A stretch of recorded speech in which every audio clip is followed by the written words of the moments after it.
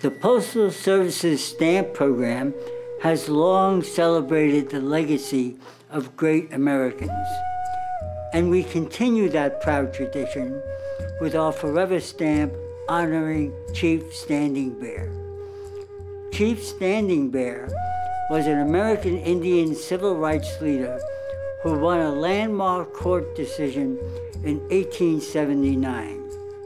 The ruling recognized American Indians as persons within the meaning of the law, entitling them to the same rights as other peoples life, liberty, and the pursuit of happiness.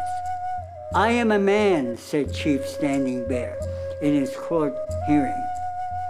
It was a simple yet profound statement that shined a light on the government's record of failed promises and unequal treatment.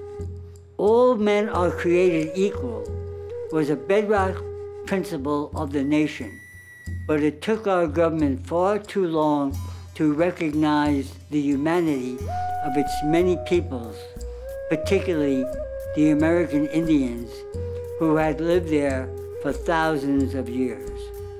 Dee Brown's book, Bury My Heart at Wounded Knee, recounts the tragic efforts of the government soldiers to relocate Chief Standing Bear's tribe, the Ponca people, from their native land in Nebraska to Oklahoma. As Chief Standing Bear recalled, the soldiers came with their guns and bayonets. They aimed their guns at us, and our people and our children were crying. On the first morning of the 50 day journey, a flash flood in the nearby river swept several soldiers off their horses. Standing Bear's people plunged in and saved the lives of the very men who were forcibly removing them from their native land. In that moment, the Ponca people demonstrated a spirit of selflessness, community, and decency that Chief Standing Bear later displayed for America to see. It is our hope this stamp will serve as a reminder of the lessons we've learned from Chief Standing Bear and the brave Ponca people.